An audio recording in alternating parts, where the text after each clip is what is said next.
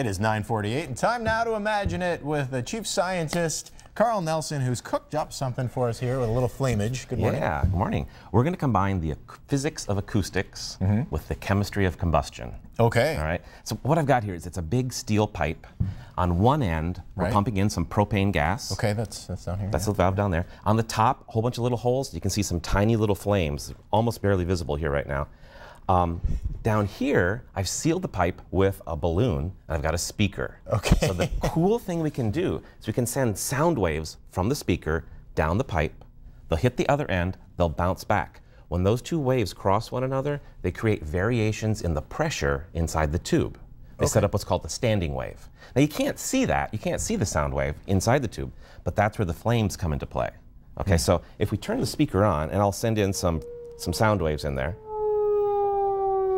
you can see at some points the flames get higher and lower, right? So if we had a meter stick, we could actually measure between the peaks and the valleys and calculate what the wavelength of that sound is.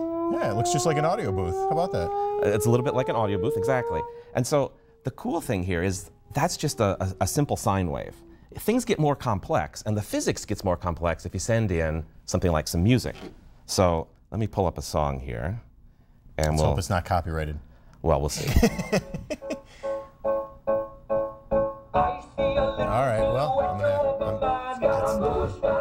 I know this song.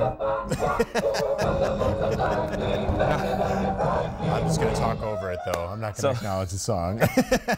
But the neat thing, neat thing going on here is that you can see that at times the flames Right. get really high. If the volume gets too loud, the uh, all the flames will get super high. right. When they're singing, you can actually see some of the some of the standing waves that are set up inside them.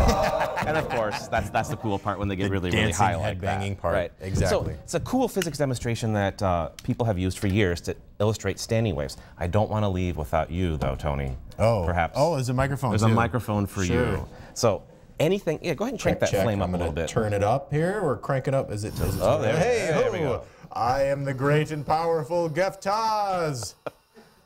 So try, try to sing. Try to sing. Make some noises in there. All right. Yeah. Uh, hi there, everybody. I'm uh, I'm with uh, the world's uh, most insane scientist, where everything must flame. Excellent. All right. So you know, even like I can't sing for sure, but